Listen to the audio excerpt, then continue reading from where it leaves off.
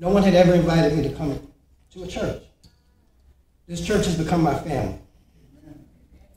I'm getting ready to make a big announcement next week, but I wanted to share it with my family today. After diligent and sincere prayer, after seeking the advice and counsel from people that I trust and admire, I stand before you today to announce that I will be running for City Council District 6. I stand here asking you for your prayer as I embark on this endeavor. I would ask Pastor if he would pray for me. Thank you. And we got some folk here that know how to run those things. We got plenty,